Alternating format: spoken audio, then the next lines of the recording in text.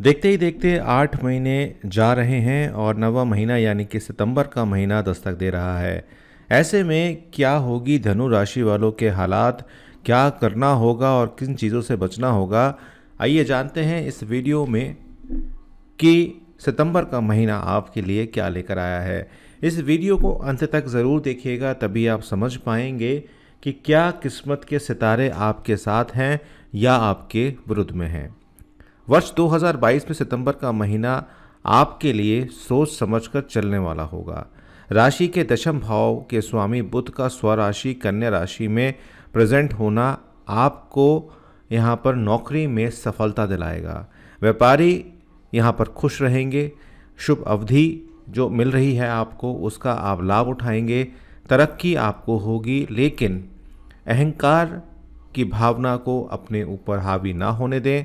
अगर आप ऐसा करते हैं तो आप जो सुखद पल होंगे आपके जीवन में, उससे आप वंचित होते हुए भी दिखाई देंगे।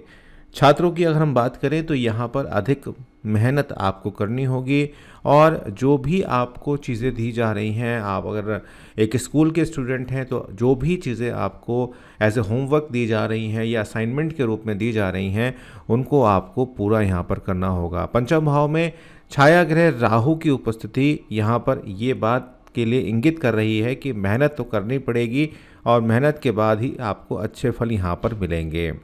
शनिदेव की अगर हम यहाँ पर बात करें तो अपनी सौराशि मकर में होते हुए आपकी द्वितीय भाव में यहाँ एक्टिव दिखाई देते हैं, जो घर परिवार से कुछ समस्याएँ पैदा कर रहे हैं। मन थोड़ा अशांत यहाँ पर रह सकता है।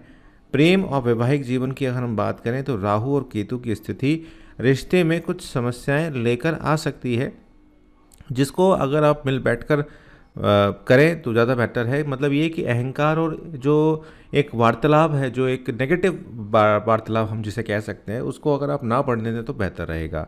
परंतु सप्तम भाव के जो स्वामी हैं, बुद्ध इस माह अपनी राशि कन्या राशि में जो उपस्थित रहेंगे तो यहाँ पर शादीशुदा जीवन अगर आपका है तो यहाँ पर आपको राहत प्राप्त होती हुई दिखाई देगी। एक दूसरे के साथ जो समय आपका निकलेगा, वो बहुत अच्छा निकलेगा।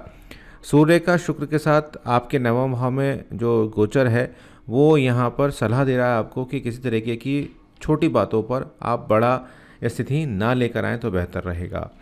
आगे बढ़ने से पहले मैं इतना याद दिला दूँ आपको कि वीडियो को लाइक ज़रूर करिएगा, चैनल को सब्सक्राइब करके बेल आइकन को ज़रूर प्रेस कीजिएगा। बात करते हैं कैरियर की।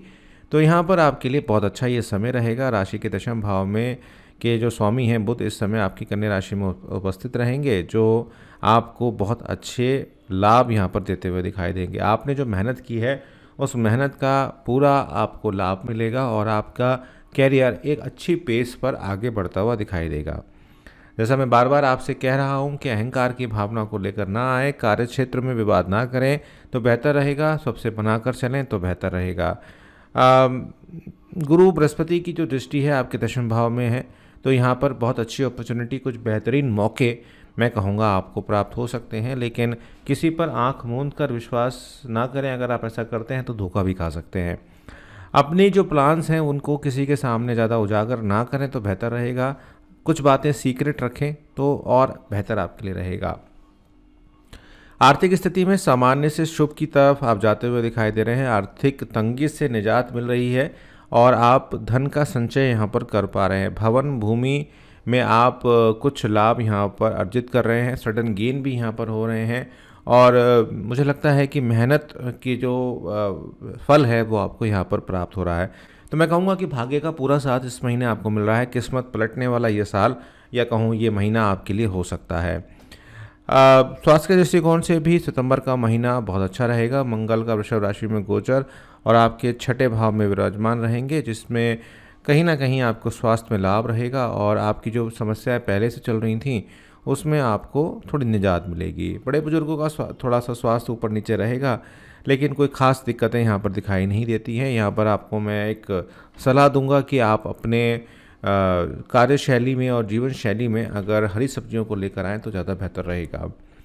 प्रेम और वैवाहिक जीवन के बारे में बताऊँगा आपको, लेकिन फिर से याद दिलाऊँगा आपको कि वीडियो को लाइक आप ज़रूर करिएगा।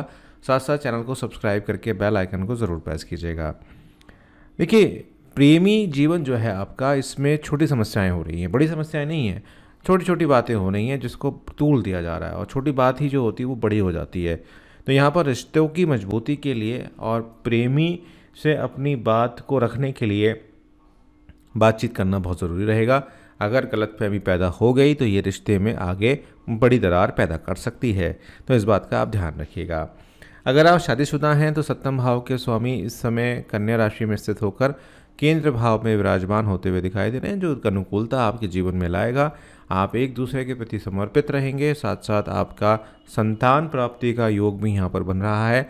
तो आप अपने संतान की की ओर अग्रसर हैं, यानी कि अभी अपनी संतान है और संतान प्राप्त करना चाहते हैं तो ये बहुत अच्छा समय रहेगा। हालाँकि बाकी चीज़ों में आप हमारे से कांटेक्ट कर सकते हैं, नंबर आपकी स्क्रीन पर चल ही रहा है। यहाँ पर बुधादित्य योग का निर्माण भी होगा, जो आपको बहुत अच्छा सहयोग यहाँ पर देगा और नकारात्मक परिस्थितियों में आपको शांत रखने का प्रयास करिए और सही समय का इंतज़ार आपको करना होगा। तो प्रेमी लिहाज से प्रेम के मामलों में मुझे लगता है थोड़ा सावधानी बरतें। प्रेमी जीवन जो है वो थोड़ा सा समस्याएँ यहाँ पर पैदा हो सकती है या बेसिकली प्रॉब्लम आ रही है क्रोध की। तो अगर क्रोध और वाणी पर संयम रख लेंगे तो चीज़ें बेहतर हो जाएँगी। पारिवारिक जीवन में शनि देव का स्वराशि मकर राशि में होना कुछ अशांति बढ़ा सकता है और घर में थोड़ा मन आपका कम लगेगा, बाहर घूमने जाने में ज़्यादा इंटरेस्ट आपका रहेगा, लेकिन न्याय प्रिय है। शनि तो यहाँ पर आपके साथ न्याय कर देंगे, कोई ऐसी दिक्कत वाली बात नहीं है। बट यह है कि छोटी छोटी बातों पर बहस ना करें तो बेहतर रहेगा, नकारात्मक व्यवहार से बतें तो बेहतर रहेगा और झटक पटक ज़्यादा ना करें तो बेहतर रहेगा। तो अगर मुख्यतः मोटी मोटी बातों को देखें तो ये जो महीना है, ये आपके आर्थिक स्थिति से बहुत अच्छा है। आपके शादीशुदा जीवन के लिए बहुत अच्छा है। आपकी नौकरी की प्रगति के लिए अच्छा है। व्यवसाय की प्रगति के लिए बहुत अच्छा है। साथ साथ भूमि भवन और में अगर आप निवेश करना चाहते हैं या कोई नया रिसोर्स या कोई नई अपॉर्चुनिटी आपको मिल रही है तो उसके लिए बहुत अच्छा महीना है।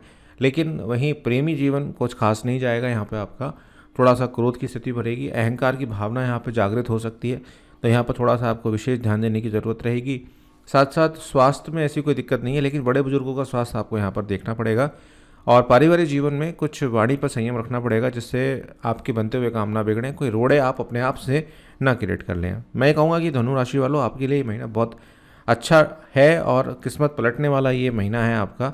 बस आप, जो बातें मैंने कही हैं, उस पर आप ध्यान रखिएगा। उपाय के रूप में शिव जी की उपासना बहुत अच्छी रहेगी। साथ साथ बृहस्पतिवार वाले दिन केले के वृक्ष की पूजा भी अगर आप कर लेंगे तो मुझे लगता है कि बहुत बेहतर आप कर पाएँगे और बहुत अच्छे तरीके से आप कर पाएँगे।